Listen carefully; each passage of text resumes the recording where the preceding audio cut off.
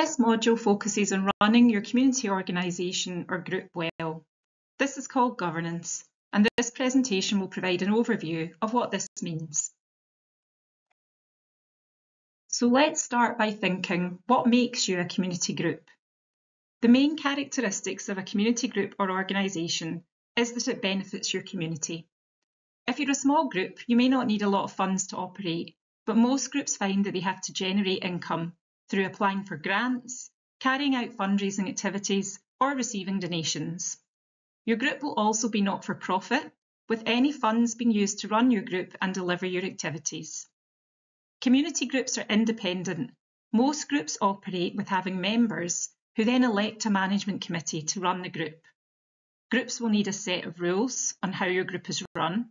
This is known as your governing document, with the most common one being a constitution and a clear legal structure. I'll talk about that more in a few moments. Very simply, governance is the running of your group. As you can see from the definition on the slide, it's about making sure your organisation achieves its aims and that it acts sensibly, ethically and legally, and also that it operates in the interest of its members and the community that it serves.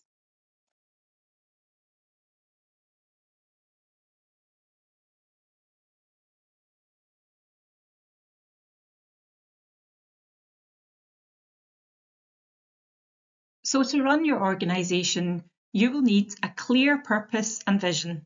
There's a whole section about this in this module which we'll explore further. A set of rules about how your organisation will be run. This is known as the governing document, with the most common being a constitution.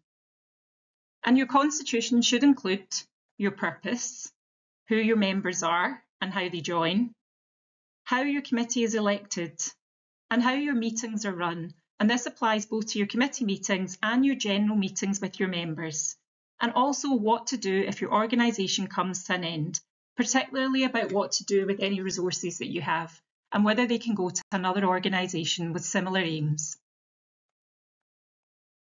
You'll also need to have regular committee meetings, usually once a month, and to take a written note of each meeting. You'll need to have an annual general meeting for your members, at least once a year, where you present your annual report and your accounts to your members, and where the members will then elect the committee. And very importantly, you'll need procedures for managing your group's money. Module 7 can help you with this.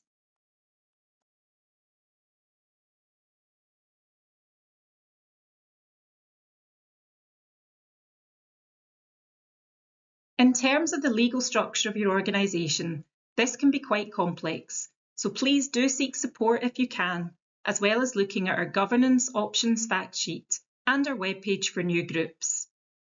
It's fine to stay as an informal group if that meets your needs, but many groups start off by becoming an unincorporated voluntary association, although this structure isn't suitable if you're planning to employ staff, enter contracts, take out a lease or manage large sums of money.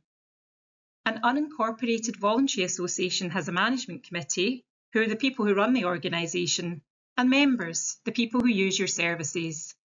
In legal terms, an unincorporated voluntary association is a collection of individuals, so any debt or financial obligation are the responsibility of the individuals on the management committee, both individually and collectively.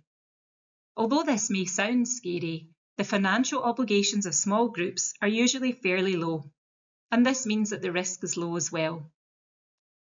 The other legal option is to become incorporated. This means that your organisation has a legal personality. It can enter into contracts and employ staff in its own right. And it can limit the financial liability of the committee members. For example, a Scottish charitable incorporated organisation or a company limited by guarantee. Alternatively, if what you actually want to do is run a business with a social or environmental purpose, this is called a social enterprise, where the majority of profits that you make are reinvested into the organisation. Social enterprises can have a range of legal structures, which include community interest companies or cooperatives. Remember that even if you start small, as a small group or an unincorporated association, the organisation can grow and may require to change its legal structure as it develops. Lastly, becoming a charity is different from legal structure, but this is something that you may wish to consider, and you can find out more information in our fact sheet.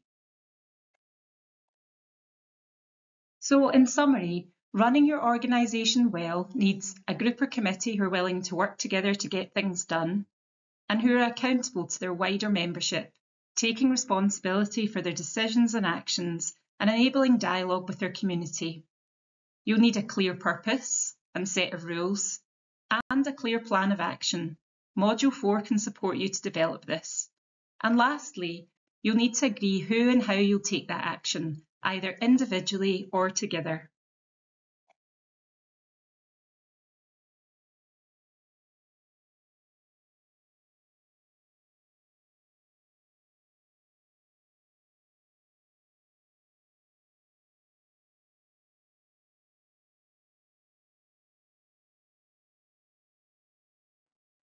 It can be helpful to think of running your group in terms of four pillars of good governance which are the focus of this module.